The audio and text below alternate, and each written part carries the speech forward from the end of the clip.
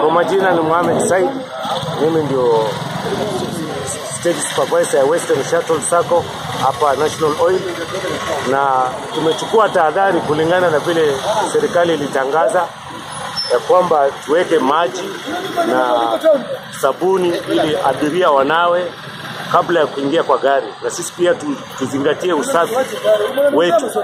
Kwa hiyo tumechukua hiyo hatua na tunaendelea vizuri sana, na abiria wamepokea kwa njia mzuri sana, kwa sababu wamefurahia kuona ya kwamba steji yetu na magari yetu ina, inazingatia ile usafi ambayo ulioko kwa sahihi.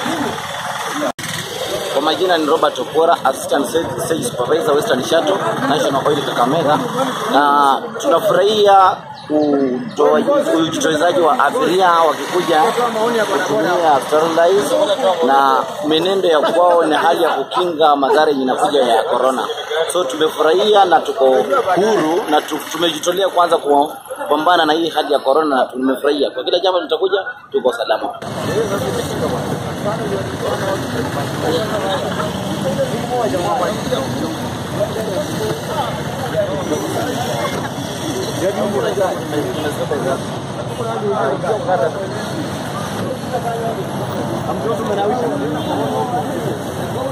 I'm